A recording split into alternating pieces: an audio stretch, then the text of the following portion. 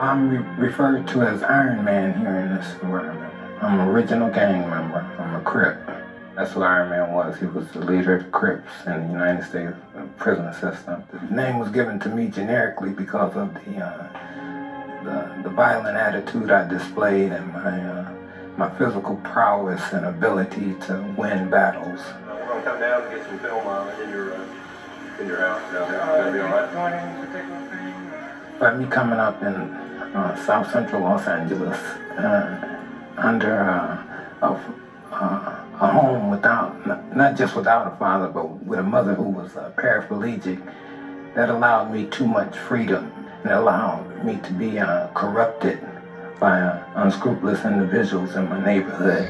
And I think those influences is what molded my character at that time and uh, sent me along this type of path to this They led me here. Was first uh, introduced to the institutions, I didn't. I don't think I had the uh, the intellect or the foresight or the understanding to appreciate the jobs and the people who worked in administration. That's, I think I seen them as something other than what they really were.